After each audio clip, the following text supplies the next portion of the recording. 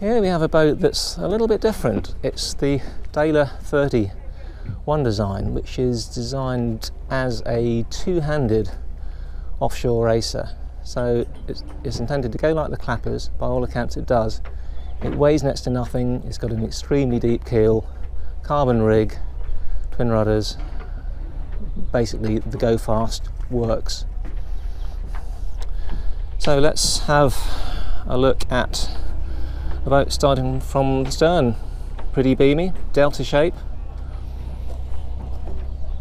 Life raft stowage, the hatch is missing at the moment, but that'll be fitted. Backstays, uh, it's a square top main, so the, these aren't running backstays exactly. They're not needed to support the rig, they're, they're, they're tuning tools. Pronounced chine. And here's Rich, co-skipper, getting everything set up on the foredeck.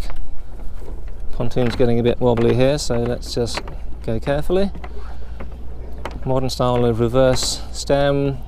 There's a bowsprit, fixed bowsprit, but can be removed if you're in cruising mode because this boat is designed again not only to be extremely quick for two-handed sailing, but to be something that you can actually cruise and spend a civilized few nights aboard if you want to. So carbon rig, rod rigging, big, yeah, long, long spreaders, outboard rigging, big sweep back. Everything led aft as you would expect.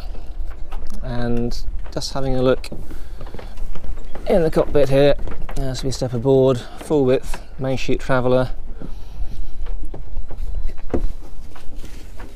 tiller with extendable extension, absolutely essential. Main sheet, coarse and fine tune, backstays here too, and uh, here's the traveller. Yeah, main sheet, coarse and main sheet fine. So everything led to the helm station, and then Lewmar hardware, jib sheet goes through, or in haulers and out haulers, so you can tweak the sheeting angle, kicker, split both sides, and essentially all the string within easy reach as it needs to be.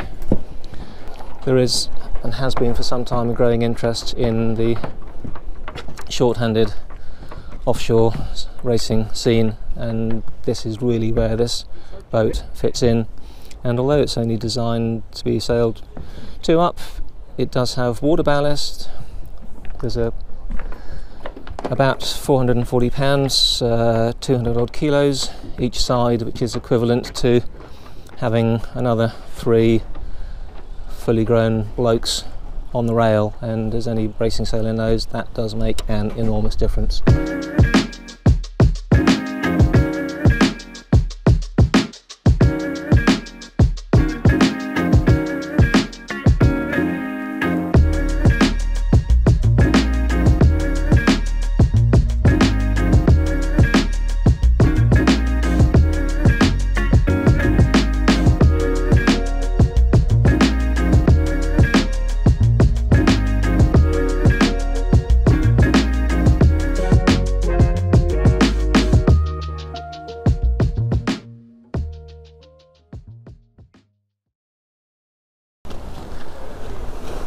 I got the small kite,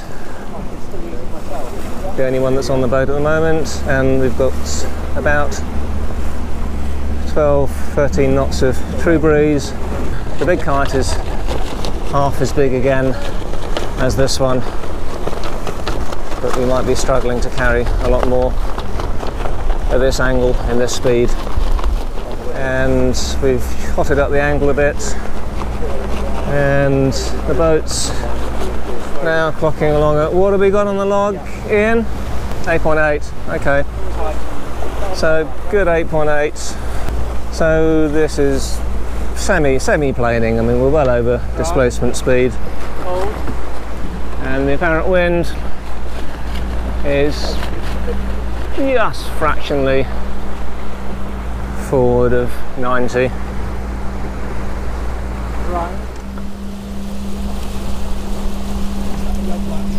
Just in case anybody only sails a heavy displacement boat doesn't believe it, there we go. Uh, we just rounded up a little bit, lost some drive, dropped down to below 8.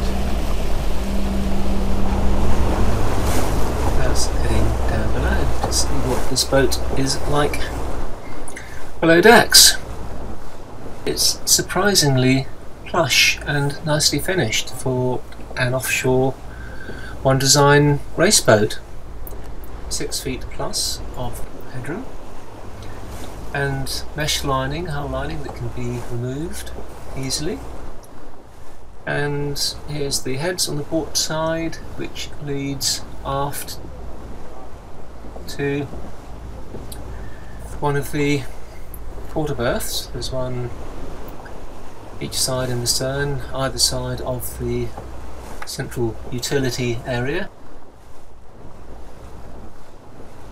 The opening port to the cockpit has been added on this boat and then moving back into the saloon. No headlining so the fastenings for all the deck hardware are very easy to get at and they have dome heads on them to save your scalp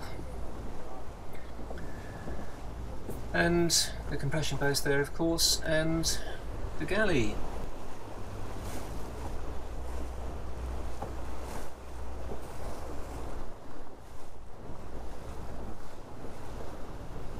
The companionway steps are covered in the same rubberized non-skid finish as seen on parts of the deck and to get at the engine just lift out the moulded casing and there it is 10 horsepower, 2 cylinder, lightweight, only diesel, no messing around with electric motors and loads of batteries on this boat, just straightforward internal combustion and very easy just to get out to.